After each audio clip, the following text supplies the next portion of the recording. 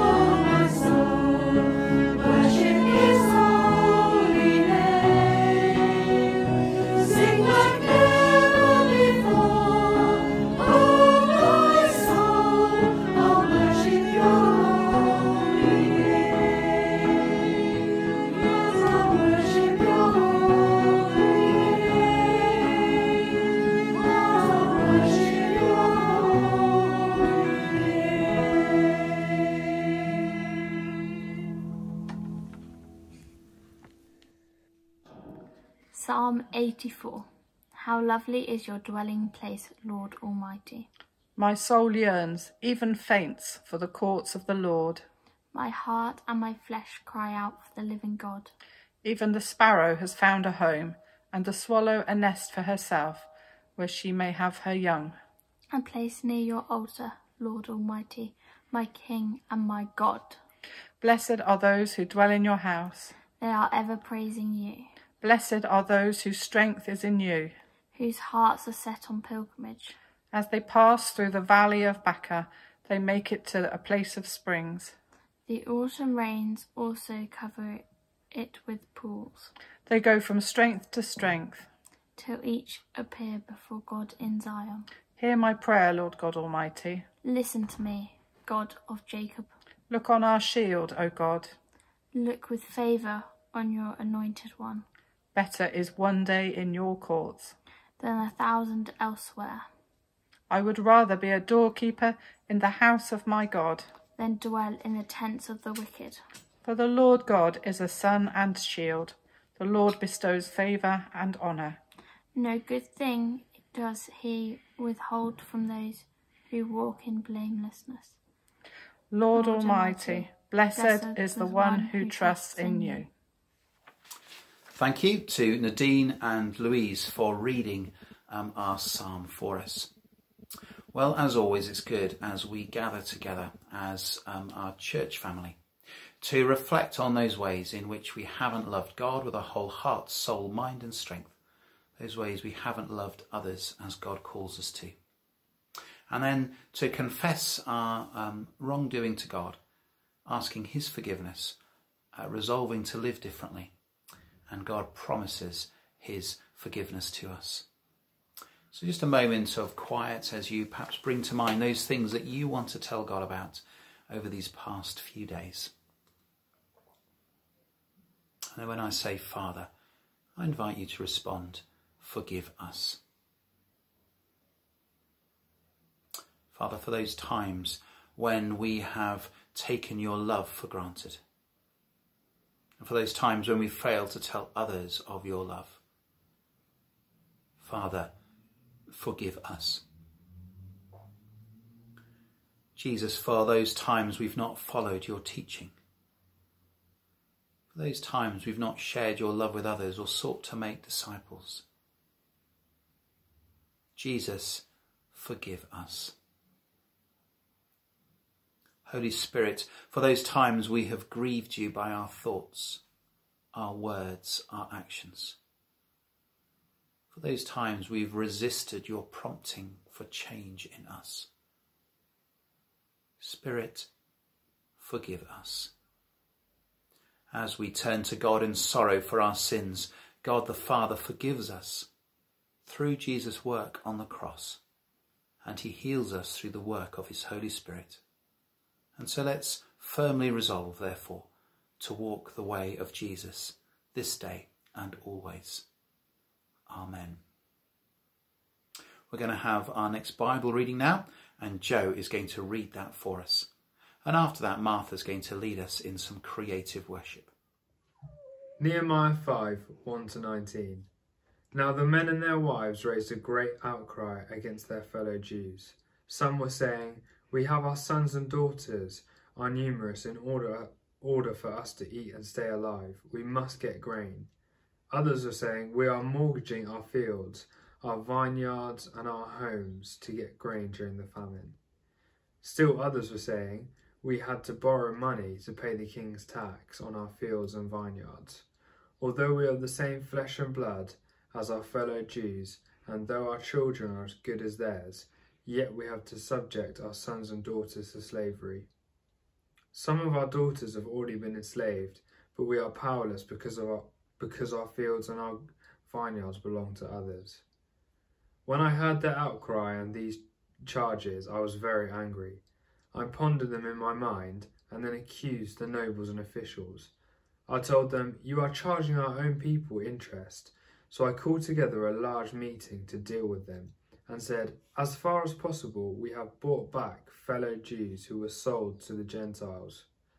Now you are selling your own people only for them to be sold back to us. they kept quiet because they could find nothing to say. So I continued, what, what you are doing is not right. Shouldn't you walk in the fear of our God to avoid the reproach of our Gentile en- enemies? I and my brothers and my men are also lending the people money and grain, but let us stop charging interest. Give back to them immediately their fields, vineyards, olive groves, and houses, and also the interest. You are charging them 1% of the money, grain, new wine, and olive oil. We will give it back, they said, and we will not demand anything more from them. We will do as you say. Then I summoned the priests and made the nobles and officials take an oath to do what they had promised. I also shook out the folds of my robe and said, In this way may God shake out their house and possessions anyone who does not keep this promise. So may such a person be shaken out and emptied. At this the whole assembly said Amen, and praised the Lord, and the people did as they had promised.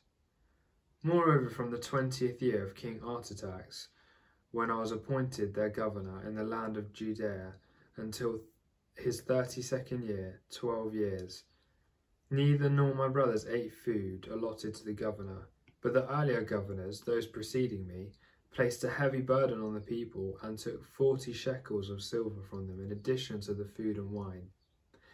Their assistants also lorded it over the people, but out of the reverence of God, I did not act like that. Instead, I devoted myself to the work on this wall. All my men were assembled there for the work. We did not acquire any land. Furthermore, 150 Jews and officials ate at my table, as well as those who came from us from the surrounding nations. Each day, one ox, six choice sheep, and some poultry were prepared for me, and every ten days, an abundant supply of wine of all kinds. In spite of all this, I never demanded the food allotted to the governor, because the demands were heavy on these people. Remember me with favour, my God, for all I have done for these people. We're now entering a time of creative worship, a time to reflect on the theme for today.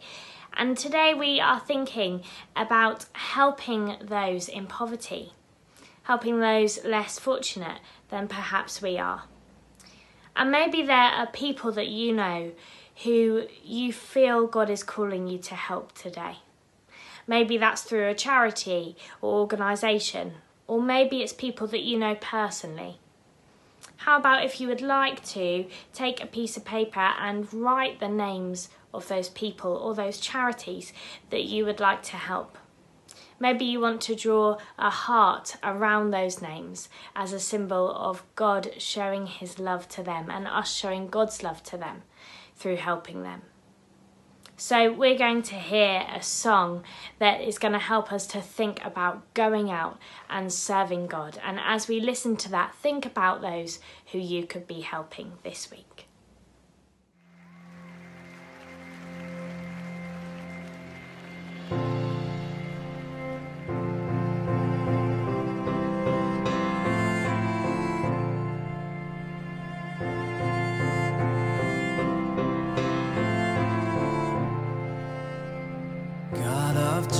Justice, Savior to all, came to rescue the weak and the poor, chose to serve and not be served.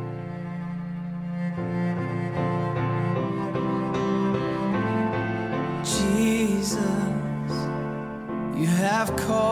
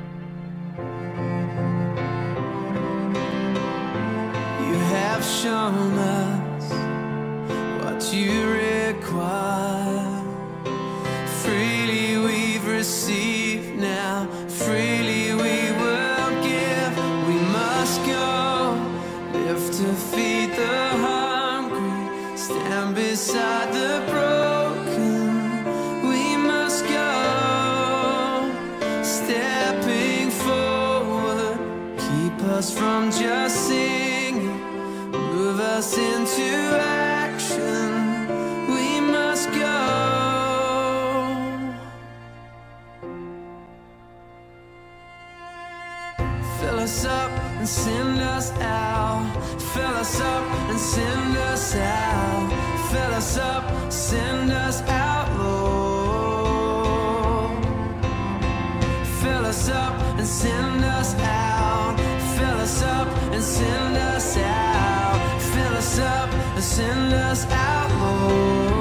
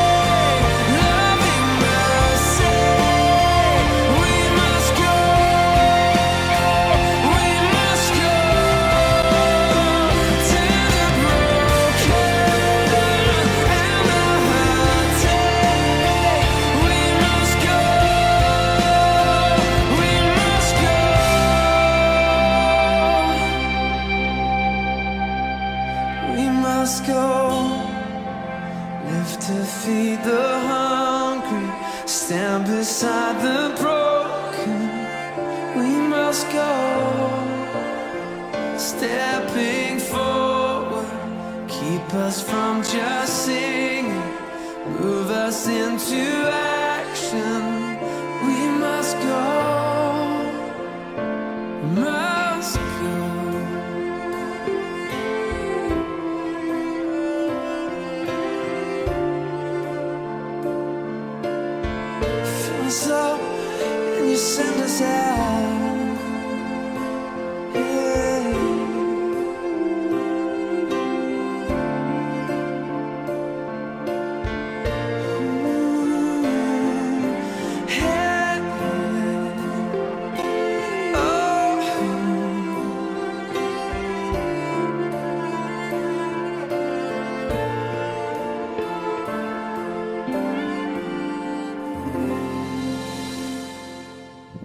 So, today we're going to reflect on Nehemiah chapter 5.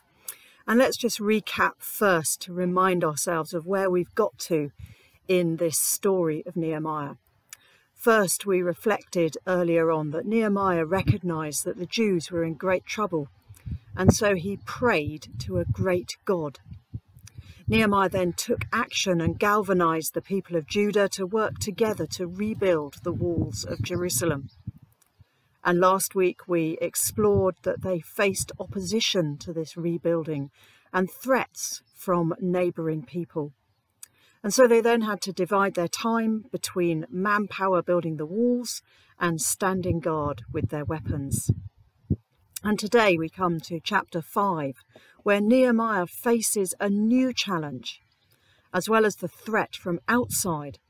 Today we find out about a threat from within their own community. So, what was this urgent matter that led Nehemiah to drop everything else?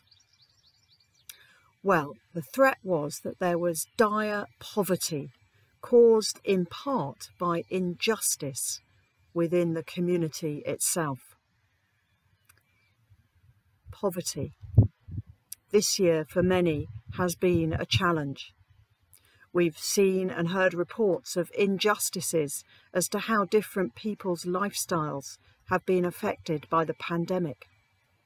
And as we begin to rebuild our lives, it's important to look beyond ourselves and respond to the needs of others in our community.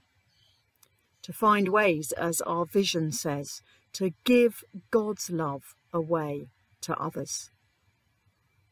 So let's explore a little bit more of what that might mean through this chapter in Nehemiah. First, Nehemiah identifies the causes of poverty, and poverty and its causes can be complex and varied. There's not a single cause of poverty, but usually multiple causes that amplify one another. In this passage, there are two causes that are identified. The first is natural calamity. In this case, it was a famine, which had probably caused a drought, which meant that the crops hadn't grown properly, and so there was very limited food. Um, as a result of the food being limited, the prices rose, and therefore there were a number of people in the time of Nehemiah that could not afford to buy enough food because they didn't have that much money.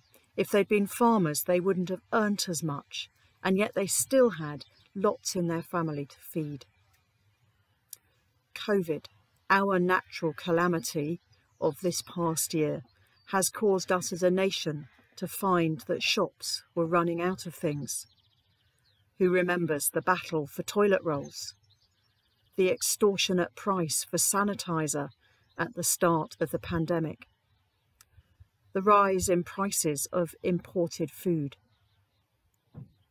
All those have meant that even in our own community there will be some who are struggling with poverty at the moment. And also, the increase in taxes has caused significant financial pressure to those in the time of Nehemiah. And I wonder, what do you do when you have no money and are facing starvation if you can't get any money? Well, for many, we try and borrow money, and that was no different in the times of Nehemiah. But here comes the second injustice. The second cause of poverty is that the way people gained money was being um, raised on by the rich. Because people couldn't afford the rise in prices, they took out loans. And those who were selling the loans saw this as a way of earning some extra money for themselves. So they started charging interest. And Nehemiah challenges and says, let's abandon this exacting of interest. It's generally understood that the prohibition against charging interest applied only to situations of basic necessity, not to what we would classify as business loans. So it would be wrong to charge to someone to buy food, but not to buy another pair of oxen in the time of Nehemiah to increase your business. The second injustice, above charging interest, was that people had started seizing the mortgaged fields and vineyards and homes, which had the effect of depriving these people of the only source of income that they had. With their source of income cut off, they had only one remaining option, and that was to sell themselves or their children into slavery. Lending money in the Old Testament times under God's law was governed by laws to ensure that the borrower was treated with respect, justice, and kindness.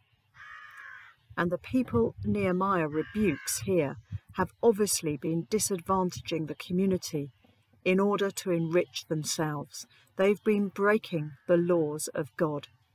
They are guilty of an injustice. What about our time? What's been the effect of COVID 19 on personal and household debt today?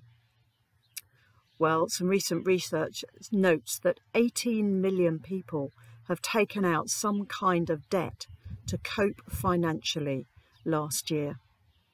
6 million UK adults fell behind on at, last, at least one household bill during the COVID pandemic.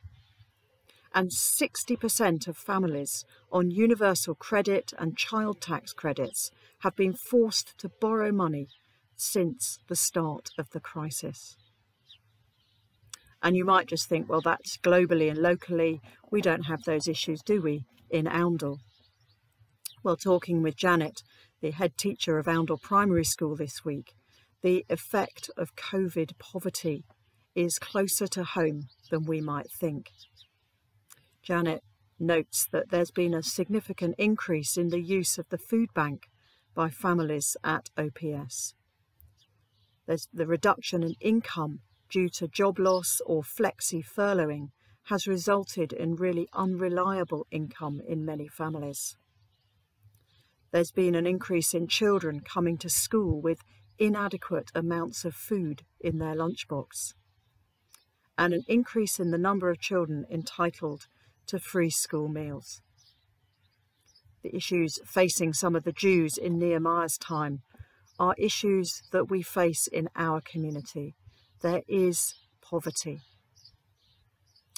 So, what can the church's response be to this poverty?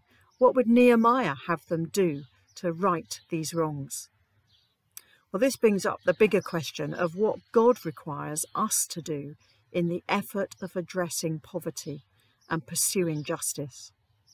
What does it mean to act justly in addressing poverty? Well, that's a huge topic, topic, and we can't cover it all today. But I want to identify through this passage maybe some principles and then some definite actions we could think about taking. First, there is the principle of equity.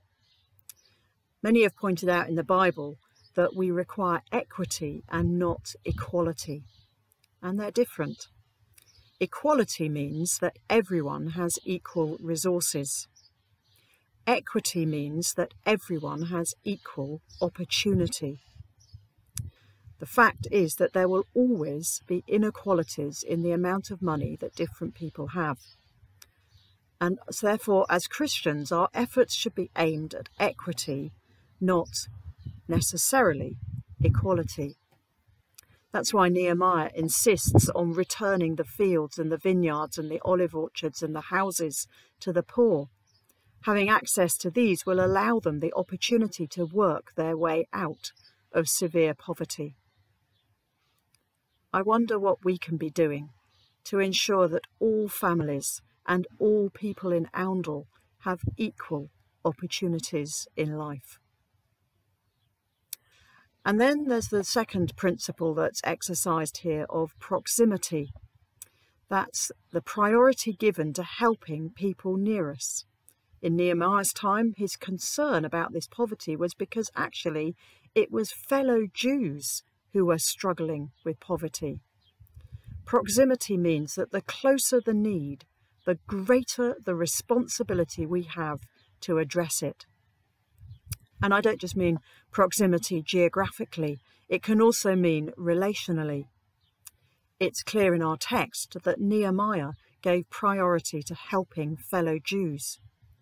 He saw the lack of doing so as a threat to the glory of God because it would mean and lead to taunts from other nations.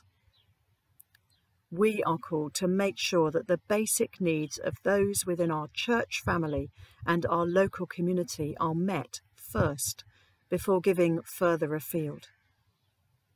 So there's the principle of equity, the principle of proximity, and finally there's the principle about acting justly is that it must be a priority for us.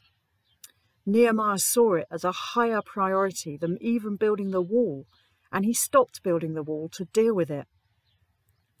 Matthew Henry, in his commentary, points this out that even if Jerusalem's walls were ever so high, so thick, so strong, the city would not be safe until such abuses as poverty were not tolerated any longer.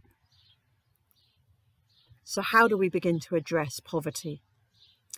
Well, I want to suggest it's by choosing generosity. one of the challenges in addressing poverty is that it almost always requires those with resources to give away some of those to others. It requires choosing generosity. In the last paragraph of our chapter in Nehemiah, he tells us of his personal practice regarding this. He's the governor. He has the right to collect taxes from other people to give him money to provide for the needs of his staff. And although former governors had done that, Nehemiah decided not to collect these taxes. And that meant that he was going to have to pay out of his own personal earnings for his staff. Out of his own pocket, he chose to pay for the food of his 150 staff, plus various other dignitaries and diplomats from other regions who had to be housed and fed. Obviously, Nehemiah must have been a wealthy man, but he was a wealthy man who was willing to be made less wealthy to a significant degree by the needs of others. He chose generosity. He chose to give out of what he'd got. And what motivated him to do this? Well, I think we get an answer in verse 15. It was the fear of the Lord.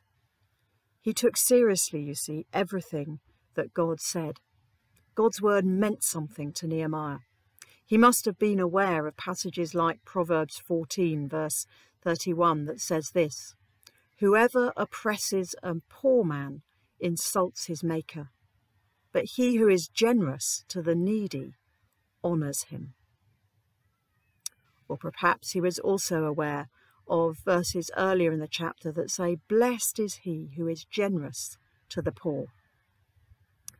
Nehemiah is reflecting that biblical principle throughout the Bible, the principle that God does reward faithful generosity. God knows how to bring good for us. Many times, the good he brings to those who are generous is not more money, but blessings far better than that. He brings blessings of joy in giving, gratitude, contentment, rich relationships. God is a generous God. He's given us so much. We need to learn to be generous givers. So, what about us? What about us here in 2021 in Oundle? I'm sure you've noticed some of the parallels to our current situation. The Jews under Nehemiah needed to stand together and support one another in the face of their crisis, instead of looking to their own interests. There's an article recently from Christians Against Poverty in their annual report for this year, and it says this The COVID 19 pandemic has impacted each of our lives in a significant way. Yet, sadly, many have experienced disproportionate levels of hardship. Looking back to last year's report, we knew that people in debt were struggling on a low income, going without food, experiencing poor mental health, and feeling isolated. For years, people have become indebted due to job loss, bereavement, or relationship breakdown. For many in our society, the COVID 19 pandemic did not create completely new financial problems, but simply exacerbated existing ones. The debt advice industry is anticipating rising numbers in needing debt advice. More must be done to reach and help households who are struggling. And we all have a story to tell. We all have a part to play. And this is where you come in. Joined up working is needed more than ever, forming partnerships to combat financial fallout of the pandemic. Yet we cannot forget that even before COVID 19, households were struggling, and without change, people will still struggle in the future, unless we do something about it. Quite challenging words, aren't they? It's all too easy, isn't it, to retreat into our comfortable, protected bubbles, to do the minimum, to be grateful that God has provided for us. But God calls us to do something if we're serious about following Jesus. So, how are you going to respond? To become generous, I think, starts by realizing just how much has been given to us through Jesus. Here's what the Apostle Paul taught For you know the grace of our Lord Jesus Christ, that though he was rich, yet for your sake he became poor, so that you by his poverty might become rich. To rebuild our community, we need to be people who are generous. We need to be people who have discovered how much God has given us, that He gave His only Son so that we might have eternal life, that He's given us blessing after blessing after blessing.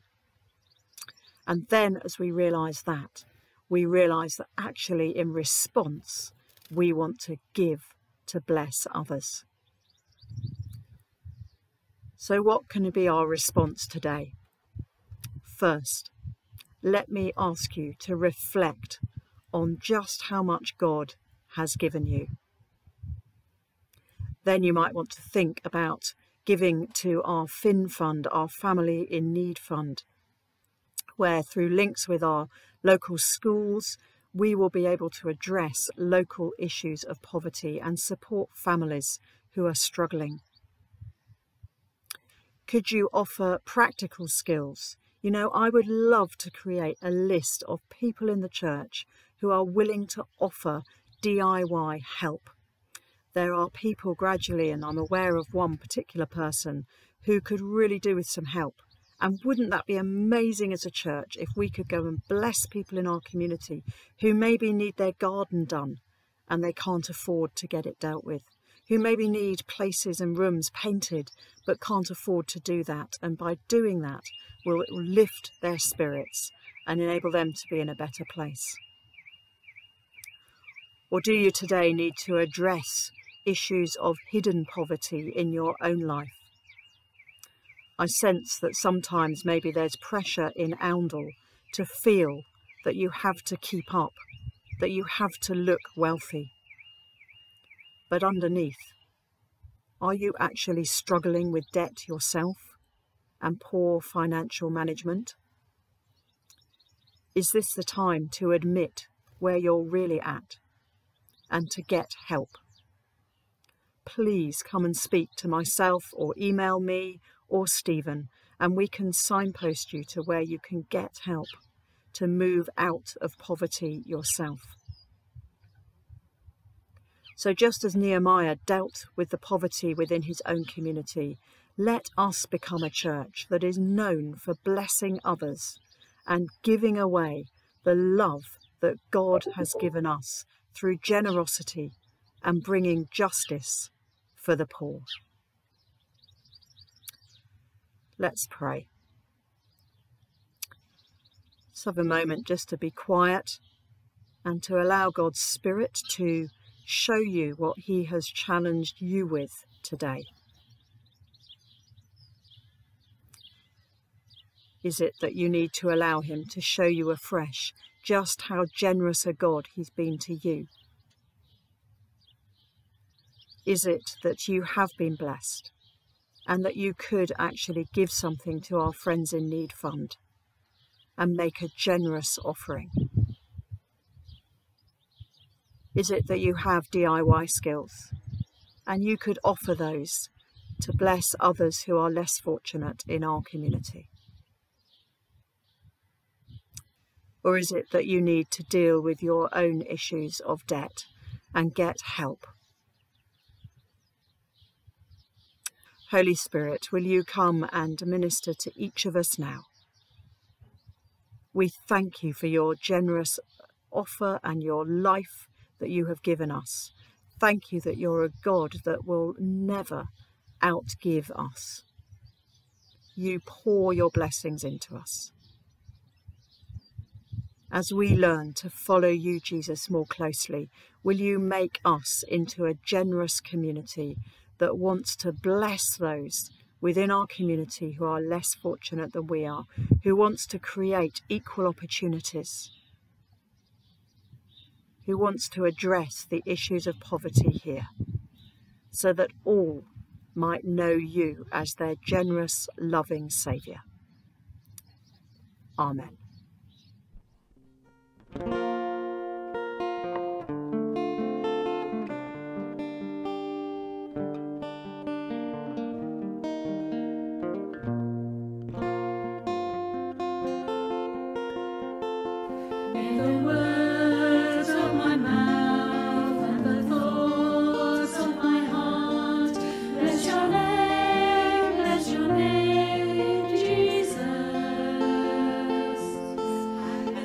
And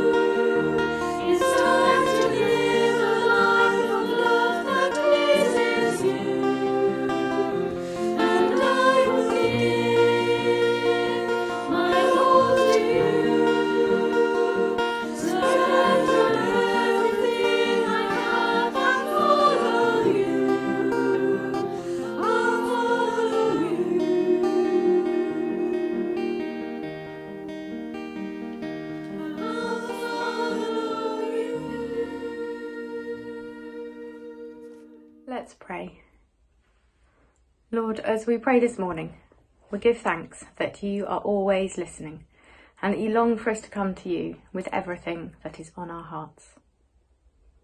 We pray for our world. Our world is in need of healing and recovering and rebuilding. We pray for all our nations as they face coronavirus and the journey forward from it. We pray for our environment and the urgent need for big changes. We pray for the deep hurt caused by inequality and pray for eyes and hearts to be opened to see where and how we can challenge and erase it. We pray for breakthroughs towards peace in nations divided by war. In all of these issues, help our leaders and our nations and each of us to think of our whole world, not just our own countries. May the world share resources and act with love and respect to find a united way forward. Lord of love and justice, in your mercy, hear our prayer.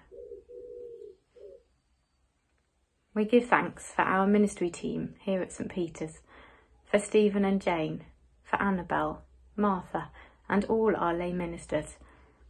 Thank you for their wisdom and their loving leadership. Today we pray for Josh as he is ordained. Thank you for his gifts and all that he will bring to our church family. We pray for he and Sally that they settle well and pray that we give them an open, loving welcome into our St. Peter's family. We pray too for Sarah and Jonathan, whose gifts have blessed our parish with plenty. Bless them today on this day of their ordination and hold them as they move to a new church and a new home. We pray that all of them sense your affirming presence as they step out on this new part of their journey with you. Lord of love and justice, in your mercy, hear our prayer. Remembering all those who have died recently, we give thanks for their lives and for all they brought to the world and those who knew them. We hold in your loving presence their families and all those who mourn them. We pray for all the family of Bobby and all who miss and mourn her.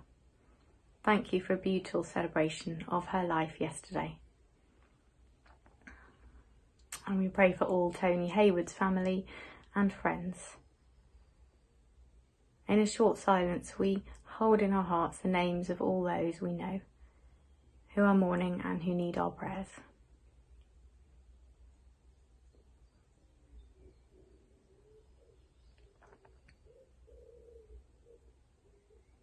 May they all know the deep peace of Christ. Lord of love and justice, in your mercy, hear our prayer. And we hold, Lord, in your healing presence all those who suffer ill health and pain in body, mind, or spirit, and for all those who are caring for them. May they know the deep peace of Christ. Lord of love and justice, in your mercy, hear our prayer. We pray for our mission partners, the Robinson family, back in England, that their visit might be a time of fellowship and renewal, building on relationships and inspiring others by the way they serve you and put your love into action with all the children that they welcome and nurture each week.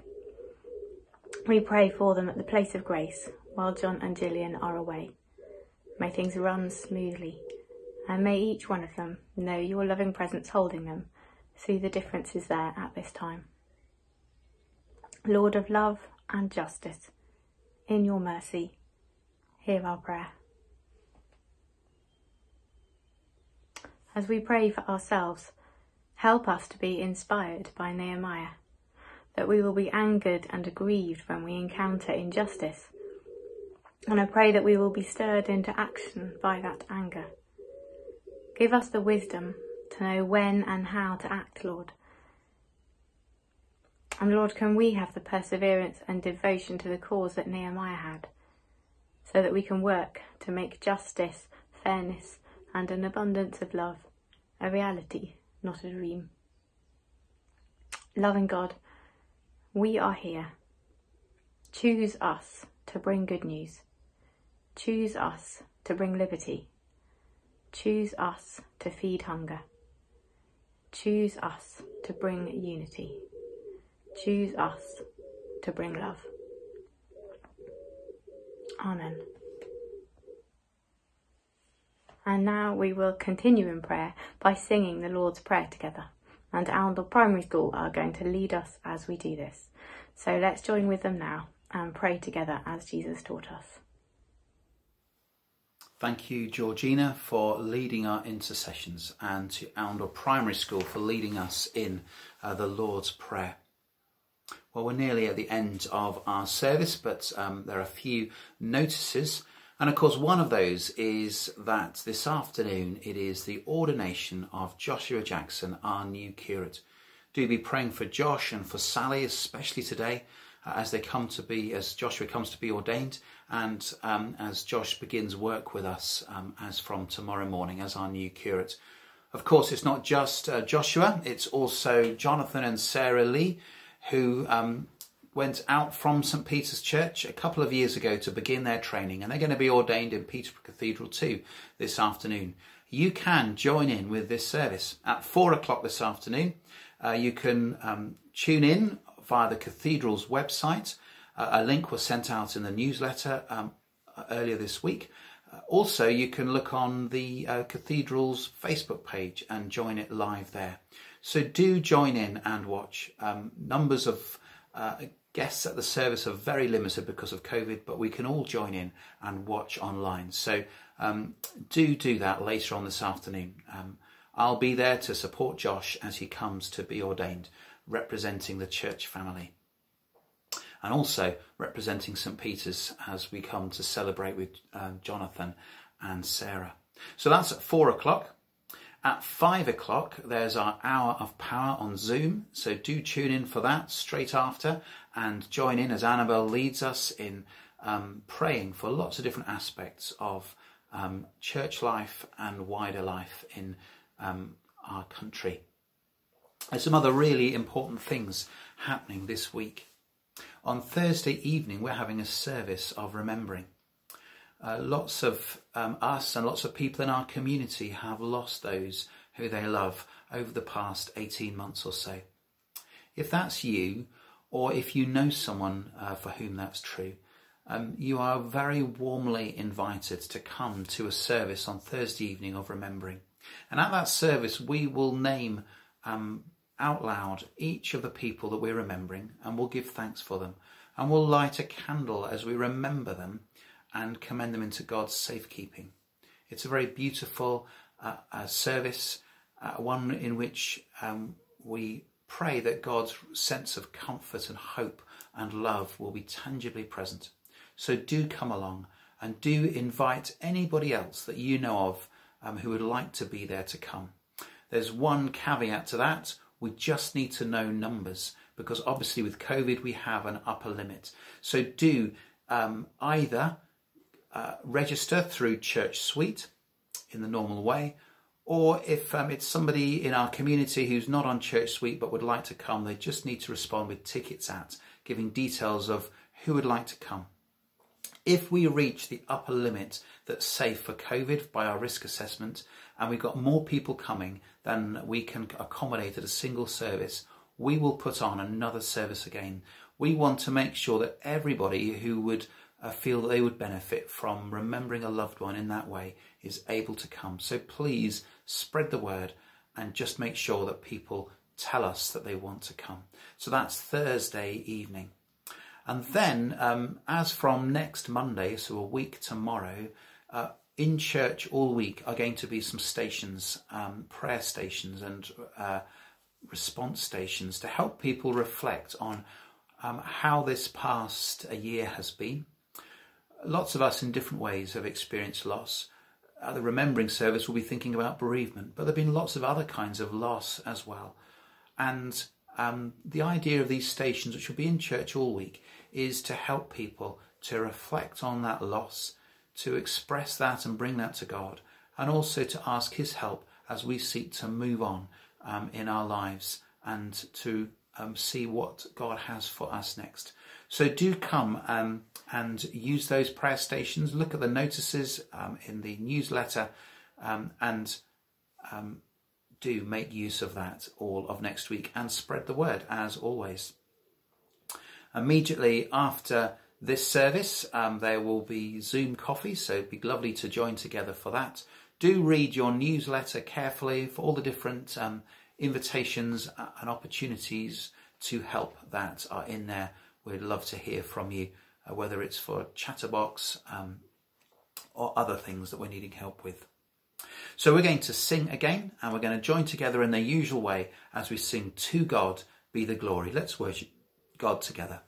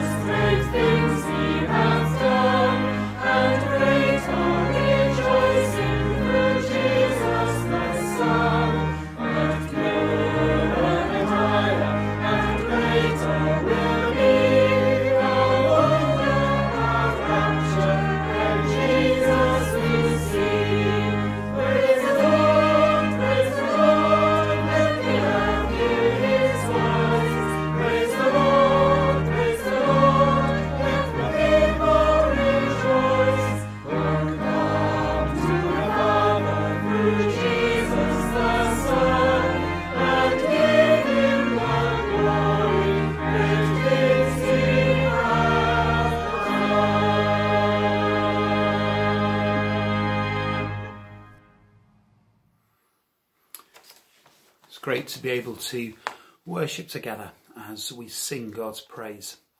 Well, before our final blessing, one other notice that I forgot to give, and that is all about next Sunday. Next Sunday, July begins, and our plan through July is to have a 10:30 service each Sunday outside, weather permitting, in the churchyard as we have um, got used to. So we're looking forward to that next Sunday. In addition, next weekend, we're looking forward to being joined by John and Gillian Robinson, our mission partners from Bangkok in Thailand, where they oversee the um, running of the Place of Grace. We're really looking forward to hearing their news, to hearing more about their ministry, and uh, they're always a blessing whenever they join us. So do come along next Sunday for the service and look out for the other events happening next um, next weekend, including on the Saturday. These different opportunities to meet with John and Gillian. So um, that's a, a wonderful opportunity next weekend. So let's pray together. The collect for this Sunday. Heavenly Father, you are the comfort of the afflicted and the healer of the broken. Through the obedience of Jesus, you brought salvation to our wayward world.